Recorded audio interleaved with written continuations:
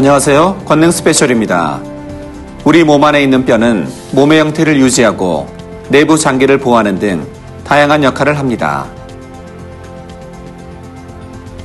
하지만 사고로 인해 뼈가 손상되었을 경우 일상생활에서 큰 고통과 어려움을 겪게 되는데요.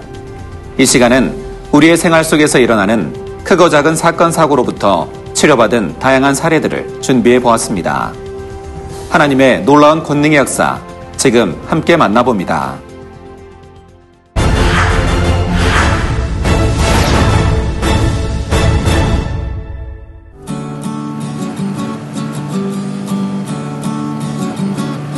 교회에 가까운 딸의 집으로 이사 온 조영순 권찰.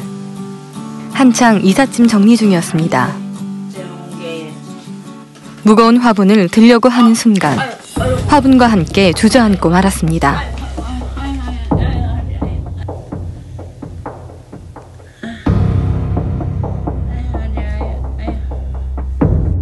저 화분을 이렇게 끌어안고 옮기려고 그러는데 무엇에 걸렸나 봐요. 그래갖고 털썩 주저앉았어요.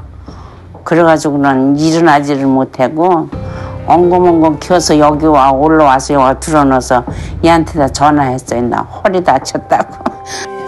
엄마 괜찮아? 어떻게 다쳤어? 어떻게 해서 그러는데? 어? 허리만 그러고 허리만. 와서 보니까는 엄마가 소파에 그냥 이렇게 누워 계시는데 뭐 어떻게 허리도 뭐 어떻게 할 수 없고 뭐 이렇게 손을 댈 수가 없더라고요. 그래서 응급실을 갔더니만은 거기서 음 엑스레이랑 막 이제 그런 거 다 찍어보더니 12번 흉추가 압박골절 됐대요.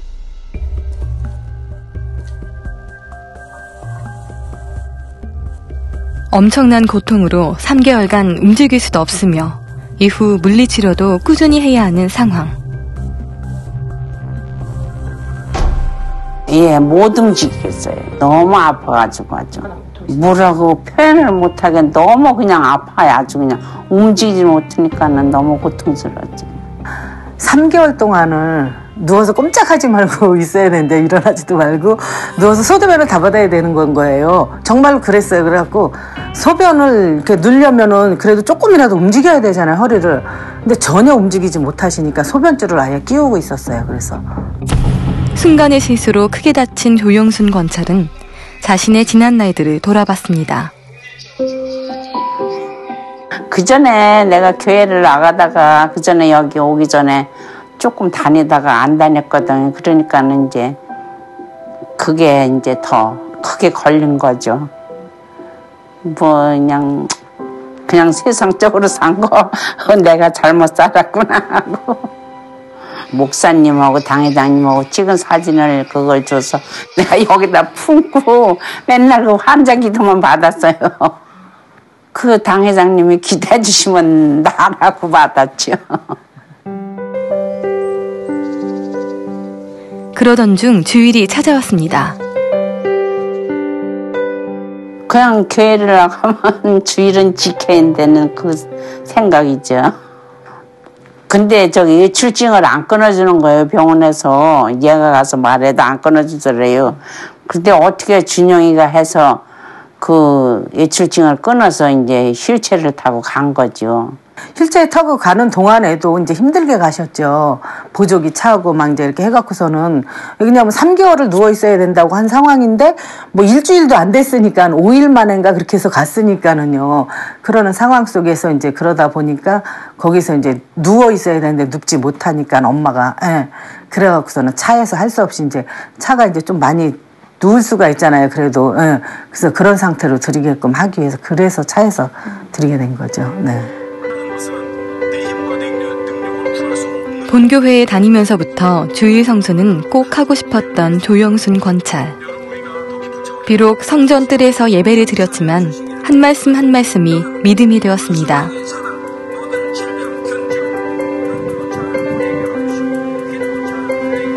이제 예배 드리고 당회장님 저기 뭐야 기도 받고 그러고 앉았다가 내가 재채기를 한 세 번인가 두 번인가 했지 그랬더니 엄마 허리 안 아파? 허리 아프고 그런 사람은 절대로 재채기 못 하거든요. 큰 재채기를. 그런데 두 번을 연거푸 하시는 거예요. 예배를 드리고 난 후에 엄마 허리 안 아파 그래서 아니 그랬더니 엄마 그럼 나와봐. 그렇더라고요. 그래서 차 밖으로 나갔어요. 나가니까는 안 아파. 엄마 빳빳이 서봐. 그래서 빳빳이 섰어요. 그래서 나 안 아픈데 그리고 이렇게 허리를 이렇게 둘렸어요. 내가 허리 운동한다고. 근데 안 아픈 거예요. 어이구 이게 다 낫네 건강해져 두 발로 걸어 돌아온 그녀의 모습은 병원에서도 이슈가 됐습니다. 그냥 걸어 들어갔으니까 사람들이 다 쳐다보죠. 한 병실에 있는 사람이 휠체 타고 왔는데 내가 그냥 걸어 들어갔잖아요. 그러니까 다 쳐다보면서 아니 어떻게 걸어 들어오냐고. 그래서 교회 가서 다 놨어요 그랬죠. 생명의 재단을 만난 후 황혼의 나이에도 정정하게 보내는 하루하루가 참으로 감사한 조영순 권찰. 근데 엄마가 내가 이제 신앙생활 제대로 해봐야 되겠다 하고 마음 먹고 이제 그러신 게 작년 당회장 생신 때였어요. 그 기점이.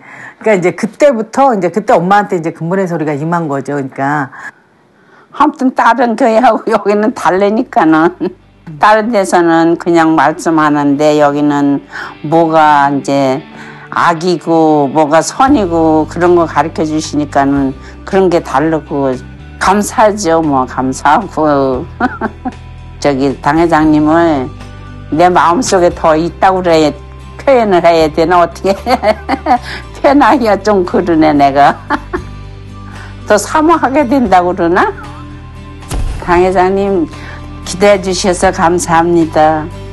치료해 받았습니다. 감사합니다. 안녕하세요. 저는 만면중앙교회 예능위원회에서 근무하는 도명숙 집사입니다.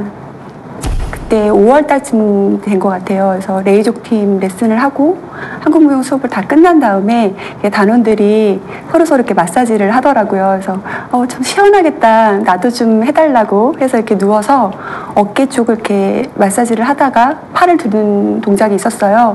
그냥 문질러주는 마사지가 아니라 좀 과하게 스트레칭을 하는 무용수들이야 좀 하는 그런 스트레칭법 좀 그게 무리가 됐는지 하고 나서 팔이 안쪽으로도 못 움직이고 위로도 못 움직이고 옷을 탈의할 수도 없고 입을 수도 없는 그런 상태가 된 거예요. 그래서 근육이 아픈 느낌이 아니라 이쪽 안쪽이 칼날이 지나가는 듯하게 이렇게 좀 날카로운 것이 지나가는 것처럼 쓸리고 아프고 그런 느낌이 계속 들었어요. 그리고 잘 때도 왼쪽은 돌아 누워 잘 수도 없고 하루 정도 있으면 되겠지라고 생각했는데 그렇게 안 돼서 음, 다음날 그 다음날까지도 계속 아파 왔었어요.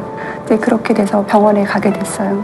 이쪽 안쪽에 손상이 돼서 이쪽에 염증이 생겼다고 어, 그렇게 된 상황이고 2주 동안에는 팔을 올려도 안 되고 내려도 안 되고 그러니까 움직이지 말라라고 얘기하시더라고요. 그래서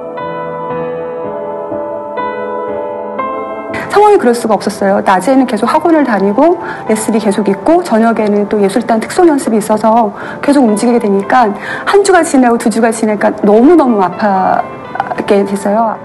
그러니까 무용할 때마다 이제 삐뚤어진 상태에서 무용을 해야 되니까는 저한테는 정말 너무 치명적이었던 상황이었거든요. 어, 진짜 이러면 안 되겠다. 그런 생각이 들었는데 많이 그때부터 통일자복 하면서 이제 기도를 했고요. 나를 비우는 게 영이구나라는 거를 깨닫고 나서 기도를 하면서 당회장 생신을 이제 준비를 했습니다. 사실 그날이 너무 이제 기다려지게 된 상황이죠. 드디어 생신 예배 당일 예배를 마치고 행복한 만남의 시간이 되었습니다. 두 번째 타임에 들어갔어요. 그래서 되게 사무회에서 거의 앞자리에서 이렇게 뵙게 됐 거든요. 이제 지나가면서 악수를 했는데 악수만 하려고 했는데 친히 어깨에 얹어서 이렇게 기도를 해주셨어요. 마음이 너무 편안한 거예요. 어, 됐다. 이런 마음. 어, 됐구나. 이런 마음이 정말 가슴 깊이부터 이렇게 차오르더라고요. 당회장님 생신 날 또 저희가 예술단이 특송하는 금요일 날 특송날이었었어요. 근데 그러고 이제 무용실에 올라가서 연습을 할 때 그냥 믿음이 지어지니까 팔이 쓱쓱 올라가는 거예요. 이게 쓱쓱 올라가는 동작이 잘 되더라고요. 그래서 뭐라 그래야 되죠? 날개를 단 것 같은 그런 느낌이 들었었습니다. 그래서 너무 신기하고 어, 된다, 되는구나 이런 마음에 정말 행복했어요. 저녁에 특송하는데 너무너무 신나게 정말 가볍게 무용을 그날 특성을 잘했습니다.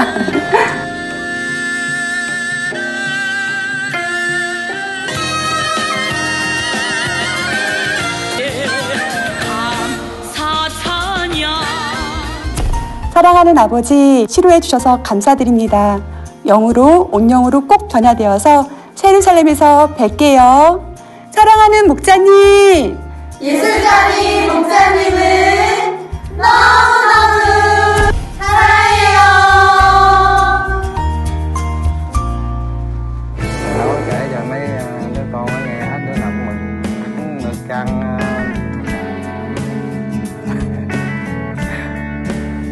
안녕하세요. 알레주자. 베트남에서는 교회도 모르고 말씀도 몰랐습니다. 같은 고향에서 온 딸의 친구인 리우 구역장님에게 전도받아 만민교회에 오게 됐습니다. 4년 전부터 어깨가 많이 아팠기 때문에 베트남에서 큰 병원도 많이 다녔었고 약도 많이 먹어봤지만 효과가 없었습니다. 항상 어깨가 아파서 무거운 것을 들거나 힘든 일을 할 수 없었습니다.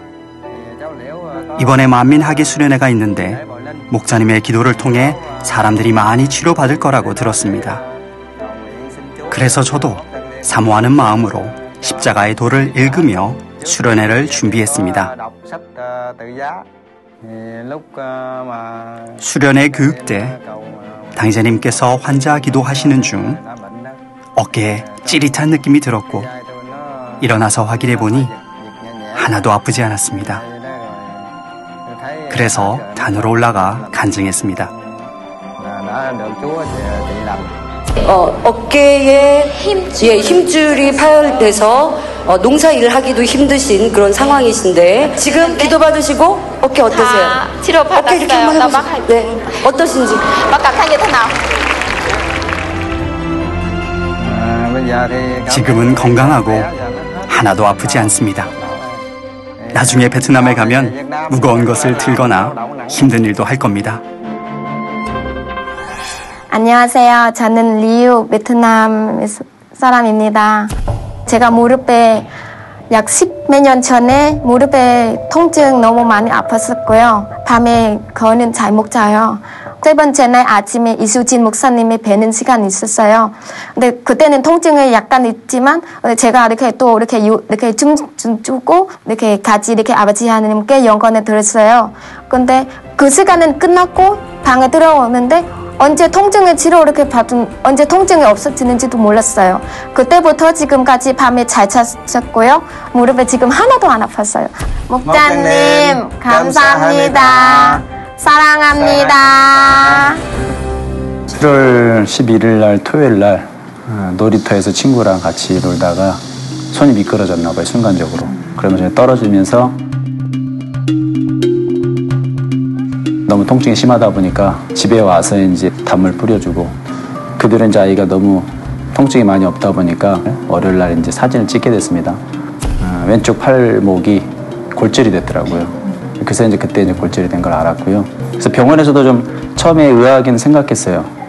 이 정도면 통증을 느껴서 진통제도 먹고 해야 되는데 이제 아이가 통증을 못 느끼니까 수련회 가기 직전에 그 시간이면 벌써 이제 뼈가 어느 정도 붙은 줄 알고 다시 사진을 찍게 됐어요. 하나도 안 붙은 거예요. 뼈가. 저는 이제 생각하기를 아버지 무슨 뜻이 있으시겠다. 수련회 또 치료를 받을 수 있겠고. 그래서 이제 그 상태로 이제 수련을 가게 됐죠. 21.1도입니다. 이게 수련을 갔다 와서 어, 8월 8일 날 어, 다시 이제 사진을 엑스레이를 찍었어요.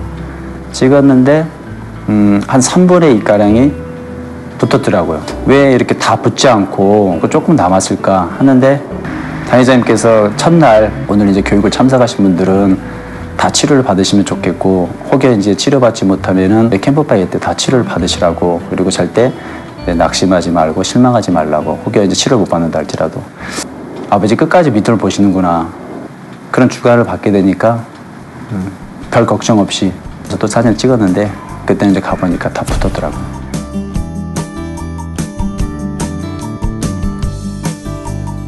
또 2015년도 만민 학예 수련회에서 이렇게 또 천상의 바람이 부는 그 아름다운 공간에서 치료를 받았다는 게 아이한테도 저희한테도 다시 믿음이 심어지는 계기가 되고 또 천국에서도 아름다운 추억으로 남지 않을까. 아버지 그렇게 역사를 하시, 하시지 않았나 그렇게 생각이 됩니다. 목자님 사랑해요. 제가 목수일이라서 군부대 짓다가 이제 그거 2m 10 정도에서 떨어졌는데 의식을 잃었던 것 같아요.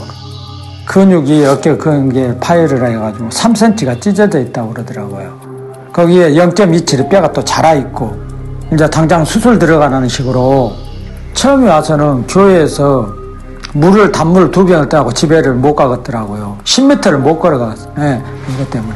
막 손이 막 쩌르쩌르하고 막 진동이 오면서 전류가 흐르는 것 같이 막그 당기고 막 저리고 막 뭐 막 이렇게 막 갉아먹는 것 같은 그런 느낌이 들면서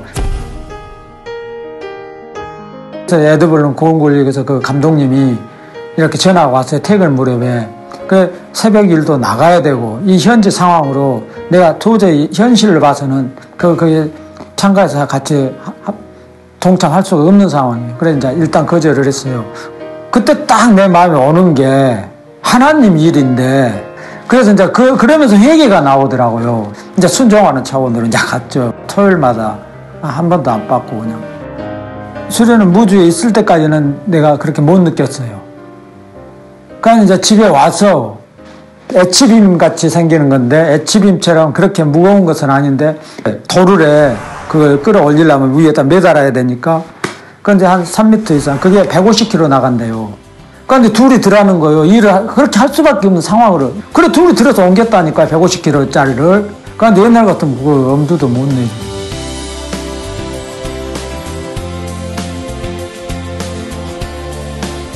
그러고 이 손으로 머리를 감지를 못했거든요. 머리 여기만 이렇게 하고 이쪽 어디를 못했어요. 이 손이. 그러니까 요 정도 이상 자유롭게 하지는 못해요. 요- 오른손을 했어도. 그랬는데 지금 막 아무렇게나 막 다 하고 자연스럽게 이거 이제 치러봤다는 증거 아니에요. 아버지 감사 감사드립니다. 감사드립니다. 사랑해요. 11월 7일 날 제가 조금 빠르게 걷다가 어, 미끄러져서 제가 넘어졌거든요. 음, 그런데 일어날 수가 없더라고요. 주위 사람들이 와서 이렇게 부축해서 일으켜 세워주고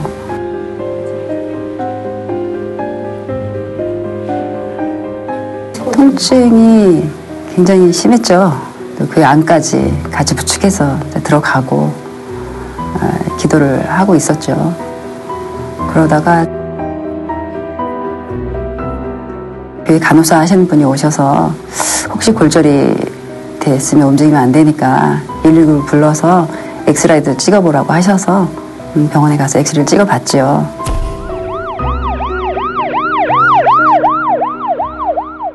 고관절 밑에가 예, 부러져 있었어요. 한 한 달 이상을 꼼짝 안 하고 누워 있어야 되는 상황인데 최대한 안정을 취해야 된다고 막 아, 당장 수술해야 된다고 그렇게 말씀하시더라고요. 입원은 하지 않고요. 집에를 갔죠. 왜냐하면 아 아버지께서 치료해 주겠구나 이런 믿음이 확 오게 됐고 또 목자님 계시니까 걱정할 게 없다 이렇게 마음을 먹게 돼서 굉장히 편안했어요. 그래서 그게 이제 토요일 날 밤이었고 그래서 뭐 거의 밤에 잠을 못 잤죠. 아파서 옆으로 돌리지도 못하고 뭐 움직이지도 못하고 전혀 못 움직이는 상황인데 화장실도 못 가시고 뭐 앉은 자세에서 눕는 것도 전혀 못 하실 정도로 그렇게 심각하셨었어요. 화장실 갈 때도 아빠랑 저랑 거의 들다시피 엄마는 전혀 못 움직이는 상태여서 엄청 심각했었죠. 주일날 예, 목자님께 기도 받으면 음, 빨리 치료받겠다는 그런 마음이 와서요 예물 준비해서 예, 위원장님께 부탁을 드리고 아 목자님이 이때쯤 기도를 해주셨겠다 그런 마음이 오는 시간이 있었어요 그때쯤부터 통증이 서서히 사라지기 시작했고 그래서 그날 밤은 잠을 잘 잤고요 월요일부터는 통증이 거의 없어졌고 그리고 뭐 걸을 수도 없었잖아요. 근데 통증이 없으니까 걸레봉 잡고 겨우겨우 걸어서는 갔어요. 그게 월요일이었고 화요일 날은 아무것도 잡지 않고 설 수 있게 됐고 그다음에 수요일 날은 보조기 잡고 걸을 수 있게 됐고 목요일 날은 보조기 없이 걷게 됐고 9일째 되는 날 병원에서 가서 찍었더니 엑스레이를 이렇게 보시더니 뭐 엑스레이 상으로는 별 이상이 없으시네요. 이렇게 이렇게 말씀하시더라고요.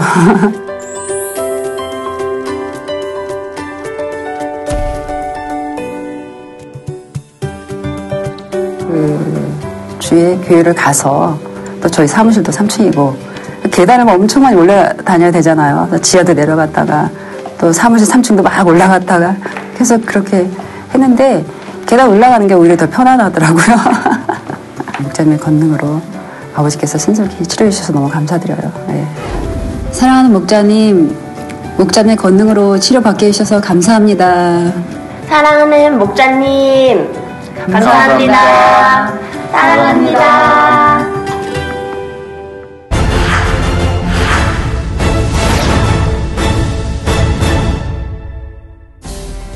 CCM 방송 시청자 여러분, 오늘 권능 스페셜에서는 다양한 사건 사고로부터 치료받은 성도님들의 간증을 보셨는데요. 아버지 하나님을 믿고 의지하였을 때 신속히 치료된다는 것을 느끼셨을 겁니다.